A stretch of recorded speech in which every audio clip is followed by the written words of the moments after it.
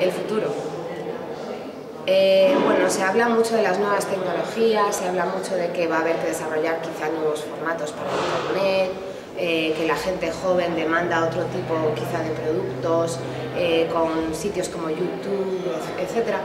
Pero yo creo que nuestro trabajo esencialmente no va a cambiar. Nuestro trabajo es inventar historias, inventar personajes, inventar situaciones, inventar momentos dramáticos, inventar momentos emotivos.